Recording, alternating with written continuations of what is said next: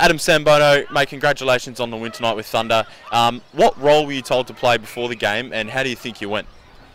Uh, I play up um forward pocket uh, with Darren Ewing, and yeah, I reckon I went alright, kicking four goals, and yeah. Mate, you took home the the Anzac medal today's game. What awards like that mean to you? Uh, it's just something special, you know, for me, for my first away game with uh, Thunder, and yeah, I reckon it's a good thing to uh, be given. On away games, mate, this is your first one with Thunder, travelling on the road. How'd you find the whole experience?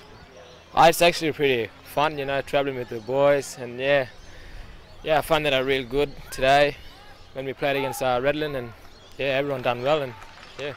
Finally, mate, Sydney next week. What's preparation going to be like?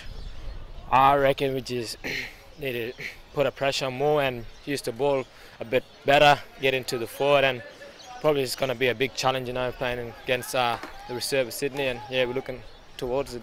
Awesome, mate. Well, congratulations on the win. Go and enjoy the night. Yeah, no worries. Thank you.